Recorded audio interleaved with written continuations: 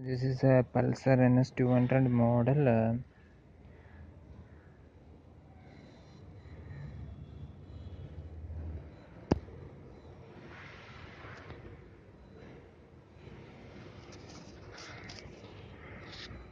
here it is written NS200.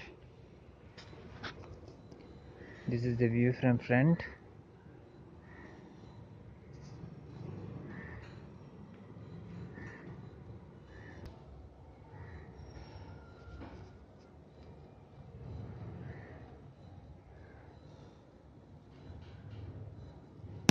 You can see an ABS here.